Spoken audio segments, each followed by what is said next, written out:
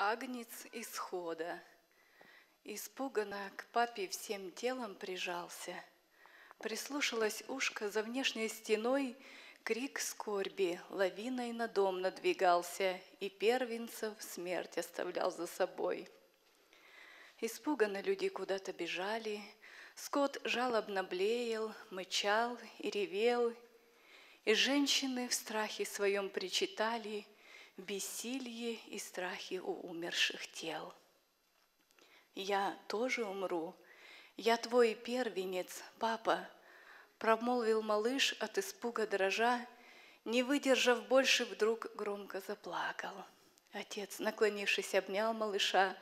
«Ну что ты, сынок, мы ведь верим пророку, Мы агнца в жертву за всех принесли, И кровь невиновного травой из сопа На входе в наш дом на косяк нанесли». И, видя, что сын все еще тихо плачет, промолвил, «Ты верь, Верь в пророка сильней. Мне трудно сказать тебе, что это значит. Возможно, прообраз для будущих дней.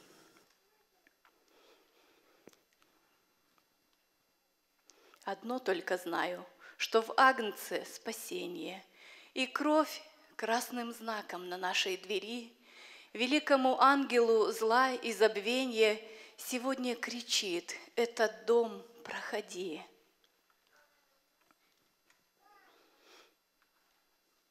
Обвел мальчик взглядом простое жилище.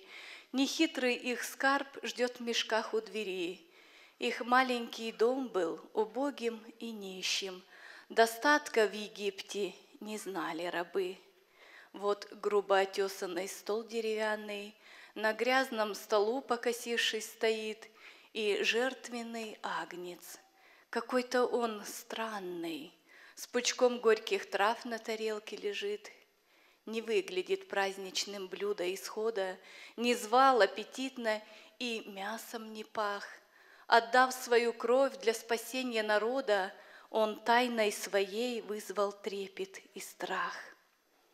Как есть целиком запеченное тело, и сильно огнем обпалились бока. Непотрошенный, полопалось чрево, из трещин змеёю ползет требуха, и десна, и зубы во рту обнажились. При свете огня он, казалось, дышал. Глаза запеклись и в глазницы ввалились. Он видом своим необычным пугал.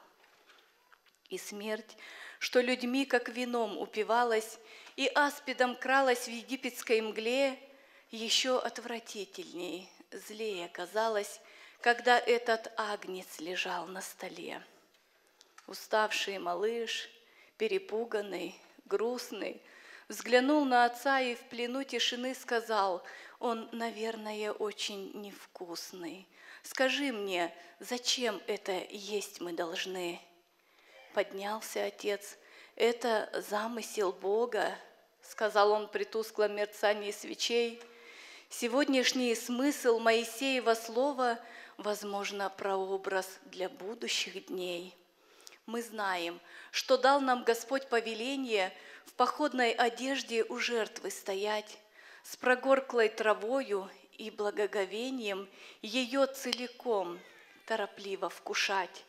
Пусть горечь травы, тошнота, отвращение не вызовут ропота в наших сердцах, Он дал недостойным сегодня спасение.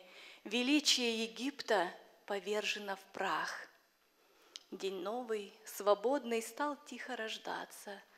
Стояла семья у большого стола, вкушала дарвоты прогорклого агнца, и Господу в доме звучала хвала.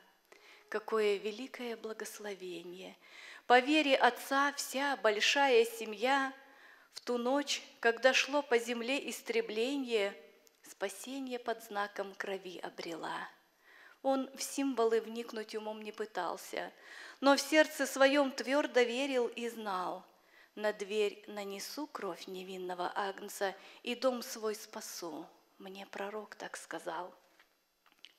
Тот агнец был символом вечного Бога. Кто кровью своей будет души спасать, он есть полнота всего Слова Христова, когда от Него люди будут вкушать.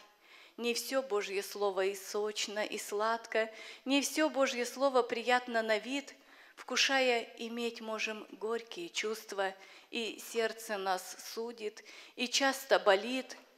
Бог весь в своем Слове, где горький, где странный, где мягкий, где жесткий, где страшный на вид, где легкий, где сложный, а где нежеланный, Бог весь в своем жертвенном агнце сокрыт. Пусть горечь травы, тошнота, отвращение не вызовут ропота в наших сердцах. Он дал недостойным сегодня спасение, величие смерти повержено в прах. Хвалите Его, пусть нелепы и странные сегодня вам кажутся Божьи пути, пусть даже безумные, горьки, нежеланные, но вы продолжайте за Агнцем идти. Аминь.